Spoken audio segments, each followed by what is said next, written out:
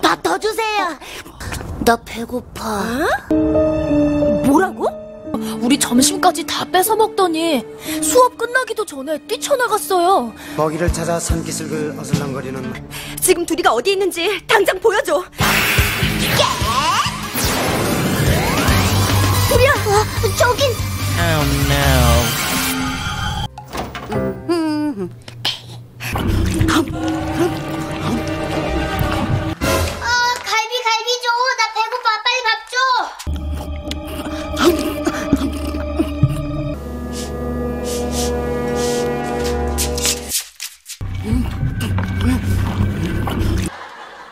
야, 너 이거 다 내 갈비잖아. 배고파.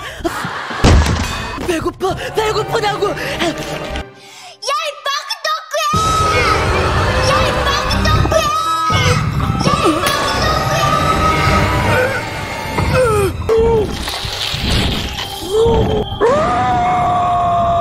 아, 시끄러!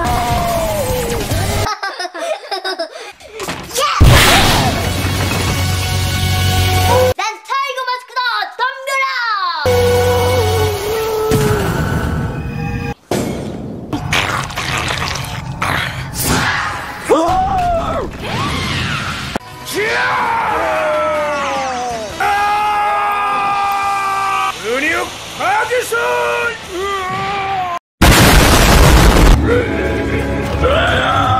뭐? 이게 어디서? 네가 내 갈비 훔쳐먹었지? 이게 어디서 거짓말이야? 아, 배고파 죽겠네. 어, 갈비찜이다.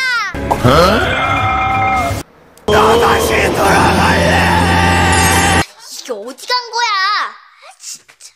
도와줘서 고마워. 왜 저래?